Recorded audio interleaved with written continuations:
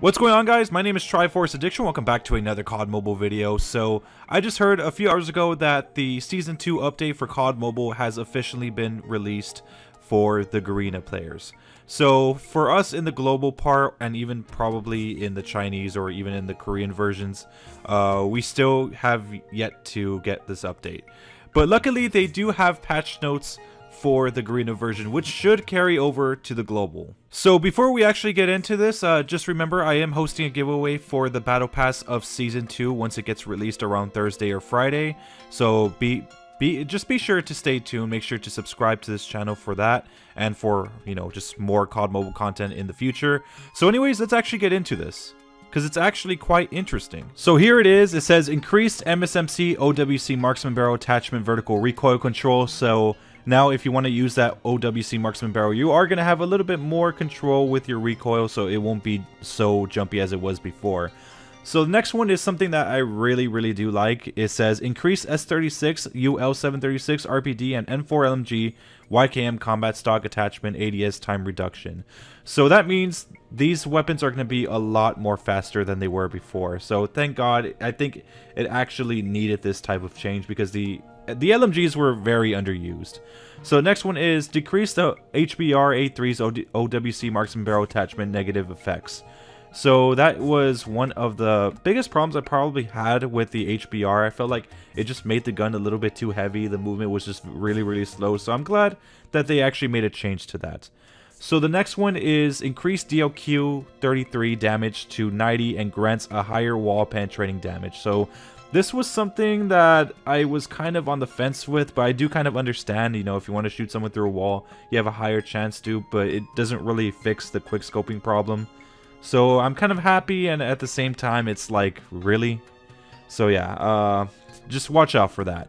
So the next one is going to be the DRH, the no stock attachment ADS time reduction to 12%, uh, decrease DRH no stock attachment hit flinch to 50%, slightly decreased the ICR's no stock attachment and YKM combat stock attachment accuracy, so it's going to be a little bit less accurate when you use those attachments.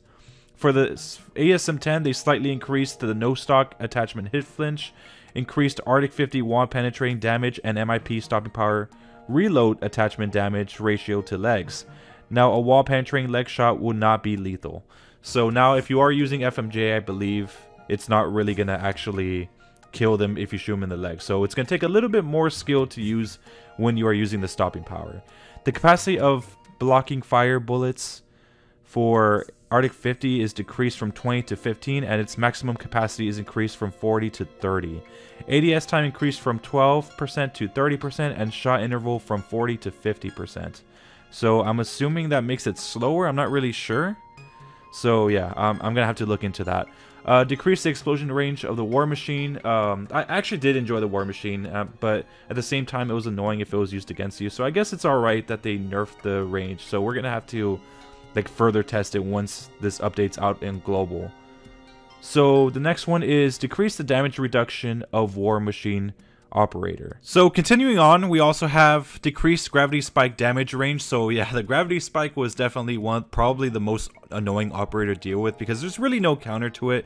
So I'm glad that the range is going to be decreased because there are some times where people actually get killed at a higher elevation when they're not really supposed to. So I'm hoping that really like increased the chances of surviving that. So slightly decrease the damage of Annihilator, uh, dealt to Stealth Chopper, XS1 Goliath, VTOL, Shield Turret, and Transform Shield.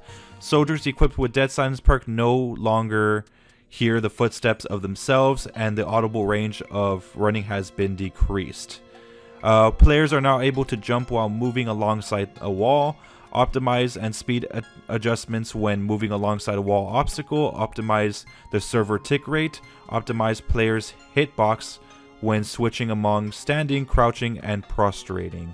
Increased characters' FPS, enemy movements, and actions are more precise and smooth. Optimize sound effects based on different scenes so that players can locate their enemies more accurately. Okay, thank God, man.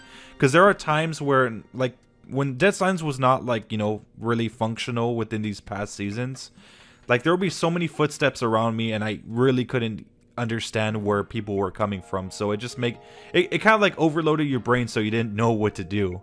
So yeah, I'm glad that they fixed that issue. So let's continue on. It also fixed an issue that players might get stuck in window frames when camp when climbing through. Fixed an issue when soldiers are stuck for a while after crossing a shortcut to Laundry Sidewalk of Raid.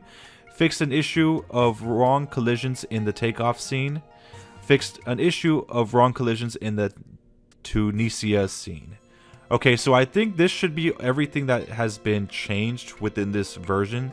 So yeah, there is quite a bit of few things, um, some weapon adjustments that I feel like we didn't need, but I'm glad that we have them anyways if if it means keeping the game more balanced. So yeah, so there you have it guys. If you want to pause the video to have a closer look at these patch notes, of course you guys are more than welcome to. Anyways, I hope you guys liked this video. Make sure to subscribe for some more COD Mobile content. Remember, there is a giveaway that's going to happen on Thursday or Friday, whenever this Battle Pass releases. Don't worry, I'll have a time frame when like when we get closer. So make sure to subscribe. Make sure to follow me on Twitter just in case you do win a gift card so I can message you personally so no one could take your card away from you. So anyways, I'll see you guys next time. Thank you.